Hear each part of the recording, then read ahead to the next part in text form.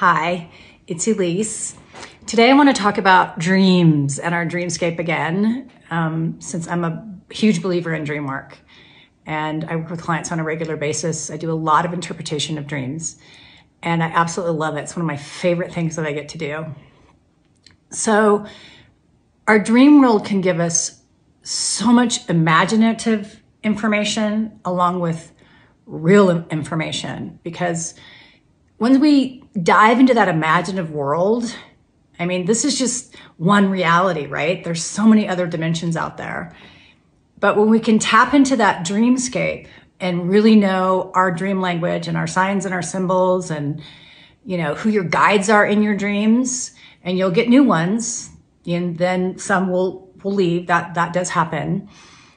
You will be shown things like what's my next step or where's my shift into another path that I'm going towards to create a new reality of maybe it's work, maybe it's relationship, maybe it's where you're moving to. You'll get signs and clues and they're little like golden threads. Sometimes it will just be like handed to you on, on a, like a, a platter or someone will walk up to you and go, okay, this is where you're going. But normally it's like these little golden threads.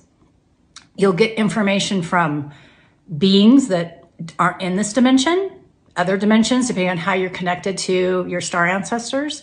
You'll get information from your loved ones that are really trying to get your attention. And if someone comes in from your past that you've completely forgot about, I've had clients do this, they just like show up most of the time, not all the time, but a lot of the time, they've crossed over. They know that you have this ability to connect with them, so they'll show up. My recommendation is is that you either reach out to them or you reach out to somebody that knows them. I've had that happen to me I don't know how many times. And I'm not laughing because they've they've died or crossed over. But I've had old friends come into my dreamscape. I'm like, okay, wow, there's something really going on with this person. And I have to actually go find them. Like I haven't had contact with them in 20 years. I actually go find them and I make contact.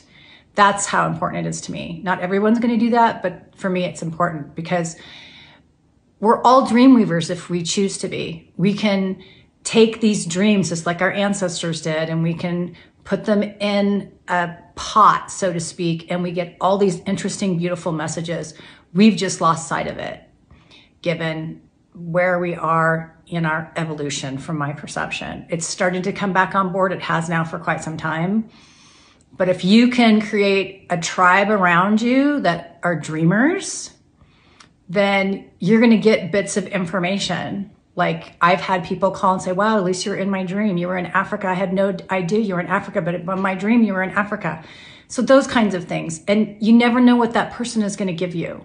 That little golden thread it can be a huge clue. So that's my tip. See you next time. Happy dreaming. Bye bye.